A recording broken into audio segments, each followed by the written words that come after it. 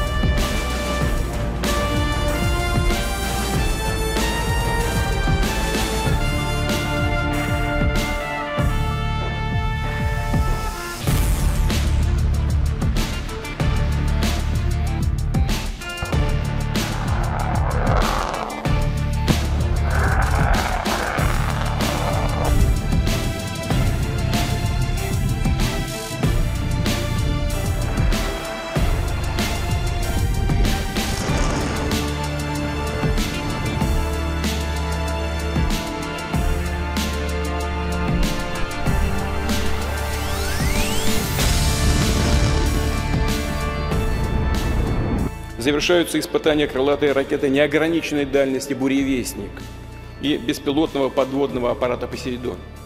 Эти системы подтвердили свои высокие, можно без преувеличения сказать, уникальные характеристики.